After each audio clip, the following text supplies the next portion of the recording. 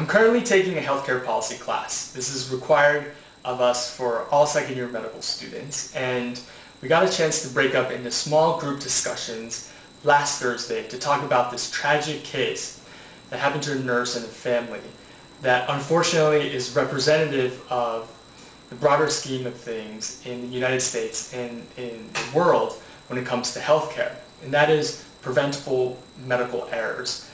Mistakes that could have been prevented that lead to deaths. Um, one of the things that you probably have heard is that 90 to 100,000 Americans each year die not because of heart disease or cancer, but because of errors that could have been prevented.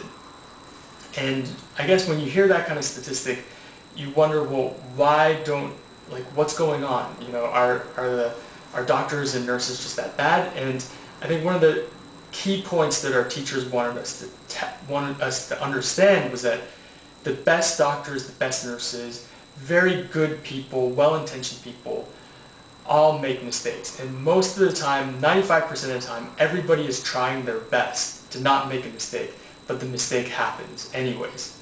And when that kind of, when that uh, situation arises, you wonder, well then what is, what exactly is going on? And I think uh, very, the data, the evidence is out there that what's going on is that there's something wrong with the current healthcare system.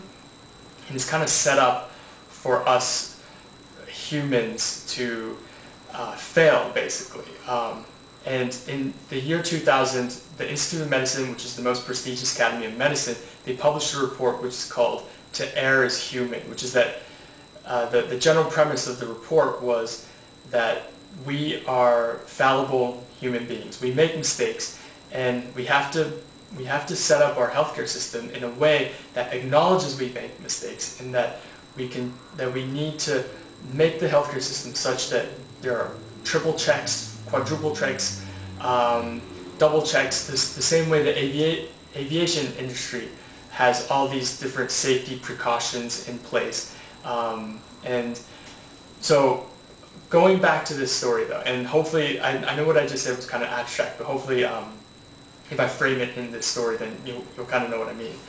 Um, on July 5th, 2006, there was a pregnant mother who had a strep infection, and her doctor ordered the nurse to give um, intravenous antibiotics, so an antibiotic by vein. Now the nurse, her name was Julie, had been a very good nurse, 16 years of clean record, no problem with the law, no problem with medical practice, and she anticipated that the mother, because the mother was in labor, would need an epidural anesthetic. This is something that you give through the spine and it can numb the pain so that the mother doesn't have to be in that much pain while she's in that part of pregnancy. Julie was had been working 16 hours straight and I mean that was one of the things that shocked me which is that this was 2006 and even after the Institute of Medicine report which strongly recommended that nobody no nurse should work for more than 12 hours straight because they know that after you work after more than 12 hours, you the risks of making errors happen a lot, even to the most vigilant, to the most attentive people. When you're really tired, it's just very hard not to make a mistake. And what surprised me was that there's still, in many, many hospitals around the country and in the world, there aren't any limits on how many hours a nurse is allowed to make these mistakes, uh, how many hours a nurse is allowed to work for. And so Julie had been working for 16 consecutive hours, and she was very tired, but she was still trying to go, you know, 100%, and she anticipated that the mother would need an epidural anesthetic bag. Um, and so she brought it out, put it on the counter. Now, at the same time, another nurse brought in an antibiotics bag, put it on the counter, and there are these two, uh, these two bags that looked very similar on the counter, and normally at this point in time, the hospital usually has a barcoding system where you can scan the bags to make sure that you're actually giving the right drug. But those, that barcoding system was down for that week. And so the nurses were told to just give the drug manually. And so you can probably already guess what happened. Um, Julie, being very tired, got the two bags mixed up and ended up giving the patient the um, intravenous ended up giving the patient the epidural anesthetic intravenously, which led to the patient um, dying of a cardiac arrest or her, her heart just stopped. So that was very tragic and my heart's, uh, my thoughts and prayers go out to the family and they also go out to the nurse, uh, Julie, and everybody else who has had to experience some kind of tragedy like this, which is um, because one of the things that our teachers really, it was such an important message was that it's both both families get devastated. The healthcare professional's family is devastated.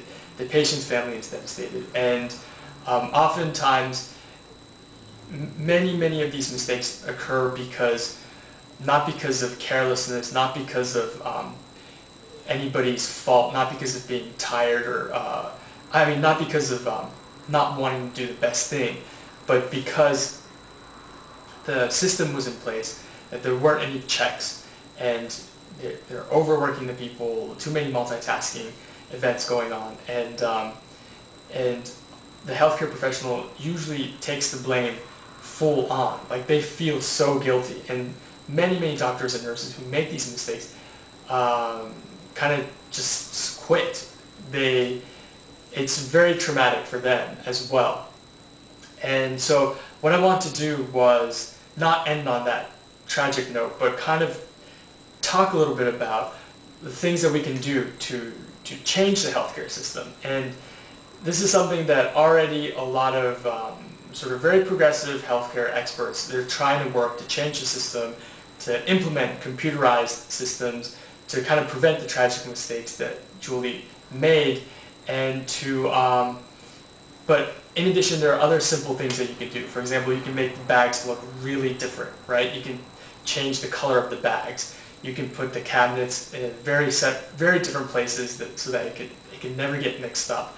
Um, small, simple things could really prevent these. And so that's kind of what I want to do um, with my next video, which I'm going to post as a video response um, to this one.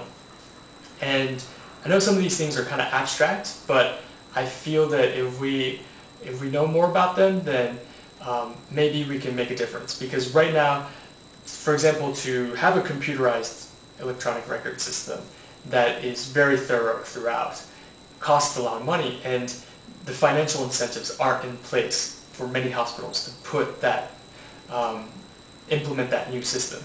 And that's just that's very tragic. That's very unfortunate on so many fronts.